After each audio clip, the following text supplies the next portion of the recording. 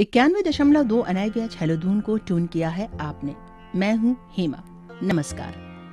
दोस्तों, लेकर आ गई हूँ आपका अपना पसंदीदा कार्यक्रम, दिव्यांगता भारतीय दृष्टिकोण से। इस कार्यक्रम में हमने कई पौराणिक कथाओं द्वारा ये बताने की कोशिश की है कि यदि कोई शख्स अपने किसी अंग से विहीन हो जाता है तो भी वो सब कुछ कर सकता है जो एक सब अंगों से समर्थ व्यक्ति करता है। क्योंकि जितनी भी महान शख्सियतें हुई हैं उन्होंने अपनी उस कमी पे विजय पाकर एक मिसाल कायम की है। इसीलिए वे असाधारण कहलाए। साधारण से असाधारण बनने के लिए पूरी तरह से समर्थ होना आवश्यक नहीं। बस ज़रूरत है मन का समर्थ होना, यानी अपनी भीतरी शक्ति को पहचानना। तो ऐसी ही एक और शख्सियत के बारे में जानने के लिए हमने आमंत्रित किया है निपवेट के निदेशक प्रोफेसर नचकेता राव जी। तो चलिए जानते हैं कि आज वो किस महान शख्सियत के बारे में बताने वाले हैं। पर उससे पहले सर का बहुत बहुत स्वागत करना चाहूँगी। सर आपका बहुत बहुत स्वागत है। धन्यवाद। सर अभी तक आपने जितनी भी महान शख्सियतों के बारे में बताया वो सब समाज के कल्याण के लिए कार्य करते रहे हैं। यानी कि वो हमारी नज़र में हीरो रहे हैं। पर कोई तो ऐसा होगा जिसने अपनी कुटिल बुद्धि का इस्तेमाल करके खलनायक का काम किया होगा? जिसे हम आज भी खलनायक के तौर पर ही याद करते रहे हैं। क्योंकि कुछ शख्सियतें ऐसी भी होती हैं भले ही वो खलनायक के तौर पर अपनी छाप छोड़ जाते हैं पर याद तो हम उन्हें भी करते ही हैं। भले ही अच्छे मन से ना किया जाए तो कोई हो तो बताइएगा सर ज़रूर। हमारे देश के नाम से जो सबसे बड़ी युद्ध हुई महाभारत जी। उस महाभारत युद्ध के होने में जिनका हाथ था शकुनी जी। वो भी अ, अस्थिबाधित दिव्यांग थे। जी। और उनकी कहानी भी रोचक है। समय के विस्तार में अगर हम देखें तो या अगर हम किसी एक दूसरे के दृष्टिकोण से देखें तो ज़रूरी नहीं कि जो काम उन्होंने किया वो गलत हो। तो कहानी कुछ ऐसी बोलती है कि गांधार नरेश हुए सुबाला जी। जिनकी पुत्री हुई गांधारी जी। और पुत्र हुए शकुनी। तो एक कहानी ये बोलता है कि हमारे कौरव पितामह भीष्म के साथ अपने राज्य का विस्तार करने के लिए गांधार, जो कि अफ़गानिस्तान और पाकिस्तान के हिस्से का वो राज्य था, उसे जीतने के लिए उन्होंने बंदी बना रखा था। राजा सुबाला और उनके बेटे बेटियों को और परिजनों को, बेटियों को तो नहीं परिजनों को और यातनाएँ दी।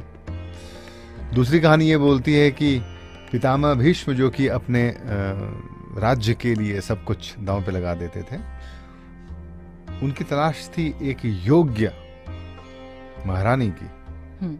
जो कि राज्य को संभाल सके। और उस समय की सबसे योग्य महिलाओं में से थी माँ गांधारी। तो प्रस्ताव लेके गए उनके पास कि गांधार नरेश के पास राजा सुबाला के पास कि चलो भाई गांधारी से ब्याह कर दिया जाए। मन नहीं माना होगा राजा सुबाला का ना ही शकुनी का। क्योंकि जानते थे कि धृतराष्ट्र इस तरफ़ हैं। फिर भी इतनी, इतना शक्तिशाली राज्य पूरे भारतवर्ष के ऊपर जिसका आधिपत्य था, मना नहीं कर पाए और माँ गांधारी को उन्होंने ये बात कही, गांधारी खुशी खुशी मान गई, ठीक है। अगर मेरे भाग्य में, अगर मेरे लिए धृतराष्ट्र जैसा पति हो तो मुझे मंजूर है, पर अगर मेरा पति देख नहीं पाता तो मैं भी वैसा जीवन यापन करूँगी। ये कह के उन्होंने अपनी आँखों को बंद कर लिया था। जी। वैसे एक बात तो ये समझ में आती है कि हाँ अंगों के बाहर भी कोई दिव्यता है इसलिए उस दिव्यता के लिए उस पतिव्रता के लिए या उसकी आँखें ज़रूरी नहीं हो गई थी। ज़रूरी था कि वो अपने स्वामी के साथ अपने पति के साथ जीवन यापन करें बिल्कुल उसी तरह जैसे कि वो जीवन यापन कर रहे थे। तो कहानी आगे ऐसे बढ़ती है कि ससुराल सारे के सारे आए माँ गांधारी से ब्याह करने के लिए हस्तिनापुर यानी कि वही ना दिल्ली के आसपास समझ लीजिए। कहाँ? पाकिस्तान अफ़गानिस्तान से यहाँ आए होंगे। और ब्याह हुआ धूमधाम से। उस समय के रिवाज के हिसाब से आप बहू के घर वालों को जब तक भोजन दे रहे हैं तब तक वो वहीं रुकेंगे। जी।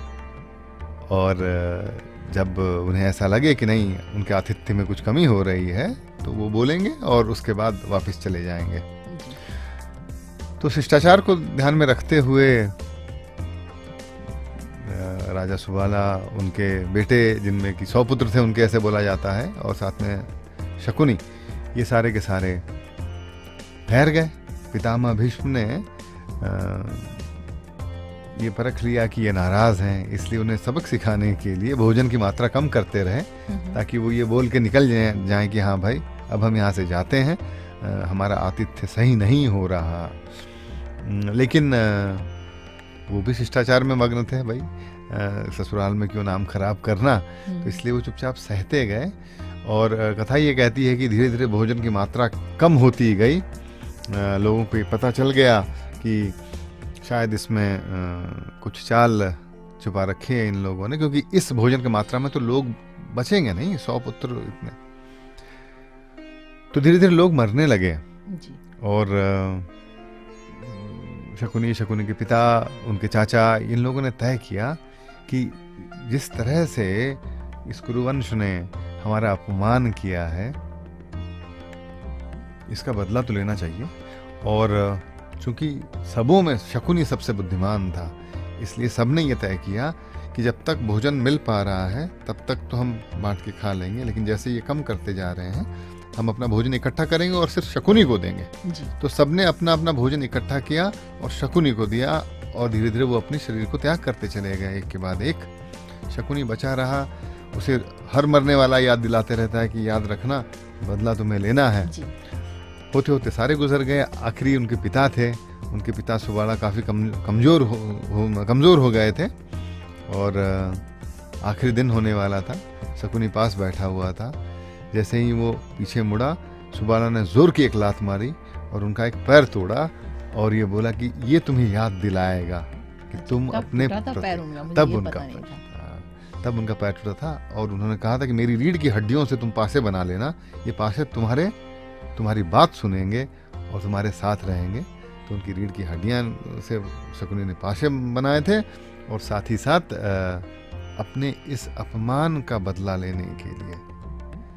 पहले तो भरोसा जीता और धीरे धीरे फिर कुरुवंश के नाश होने में मामा शकुनी का बहुत बड़ा हाथ रहा था। तो अगर शकुनी मामा के दृष्टिकोण से देखा जाए तो उन्होंने कुछ गलत नहीं किया। और अगर इधर के दृष्टिकोण से देखा जाए तो गलत ही गलत हो गया। हर कार्य के पक्ष और विपक्ष दो पहलू होते हैं। दोनों पहलू होते हैं। वैसे माँ गांधारी भी रही।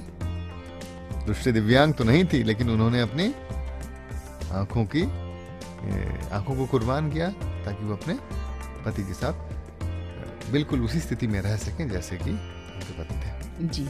सर आपने शकुनी मामा की कहानी बहुत ही रोचक तरीके से बताई और मगर गांधारी की कहानी में थोड़ा और विस्तार से जानना चाहूँगी तो मैं चाहूँगी कि हाँ ये हम दूसरे एपिसोड में करें। ज़रूर। दोस्तों अभी आप सुन रहे थे शकुनी मामा की कहानी। सुना रहे थे निपवेट के निदेशक प्रोफेसर नचिकेता राव जी। आज के लिए बस इतना ही। तब तक के लिए नमस्कार।